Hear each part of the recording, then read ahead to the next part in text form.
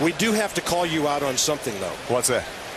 We said earlier you can take the president out of Chicago, but you can't take Chicago out of the president. You had to pull the Sox cap out, didn't you? I, listen, I, the I, I, you know, I, I want to, you know, the Nats to do well. I, I, I love them. It's great for the city, but you know, I'm a South Side kid, Sure. and uh, I've got to make sure that uh, Jerry Reinsdorf doesn't get uh, get too angry with me. And having played with the White Sox for a short time, I, I know how the Cubs fans and the White Sox fans go back and forth. Who was one of your favorite White Sox players growing up? You know, uh, I, I thought that uh, you know the truth is that a lot of the Cubs I like too, uh, but uh, I did not become a Sox fan until I moved to Chicago because I, uh, you know, I, I was growing up uh, in Hawaii, and so I ended up actually being uh, an Oakland A's fan.